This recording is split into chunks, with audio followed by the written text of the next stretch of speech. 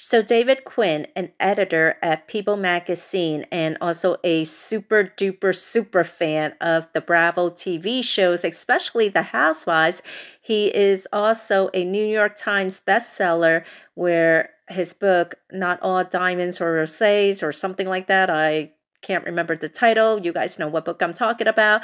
He writes specifically about behind the scenes of, you know, the Real Housewife franchise, how it came about, and all this other stuff.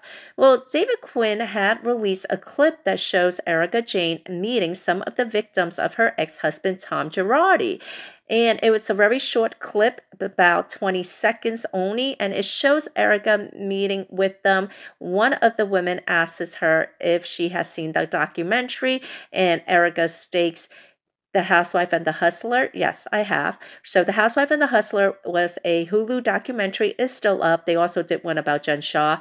And um, yeah, it'll be interesting. I feel like this is sort of like a teaser trailer to leading up to Erika's spinoff. Now, it has been confirmed that Erika is getting a six episode spinoff, I believe. Is it six episode or three episodes? It is not going to be a part of the Beverly Hills show. It is something that is separate from it. I am not sure if it's going to air on Peacock. I am pretty confident that it is going to air on Peacock and not on Bravo. It is supposed to follow her um, her Las Vegas residency tour and you know everything that she's been doing leading up to it and everything else. I feel like this might be a little bit of part of that document. It's supposed to be like a mini documentary kind of, and I feel like this might also make it into that little mini documentary.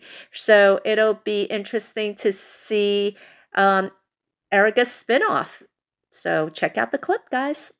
Today, several victims will get a chance to finally meet Erika Girardi.